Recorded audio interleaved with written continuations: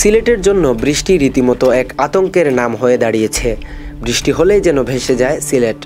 নগরীতে ছয় ঘণ্টার অতিবৃষ্টিতে আবারও জলাবদ্ধতার সৃষ্টি হয়েছে। আজ সকাল থেকে শুরু হওয়া টানা বৃষ্টিতে নগরের বেশ কিছু এলাকা জলমগ্ন হয়। এতে ভোগান্তিতে পড়েছেন স্থানীয় বাসিন্দারা। এদিকে ভারতের মেঘালয় রাজ্যের চেরাপুঞ্জিতে গত চব্বিশ ঘন্টায় বৃষ্টিপাতের পরিমাণ ছিল তিনশো উনপঞ্চাশ মিলিমিটার। এ কারণেই সিলেটের নদ নদীর পানি বাড়তে শুরু করেছে।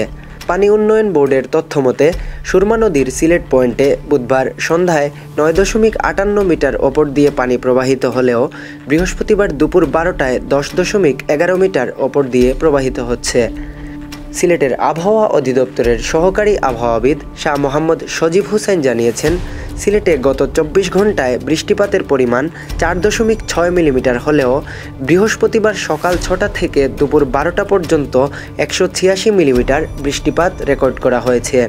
তিনি আরও বলেন, সিলেটের আকাশে বজ্রমেঘের অবস্থান রয়েছে, যেটা কেটে যেতে সময় লাগবে।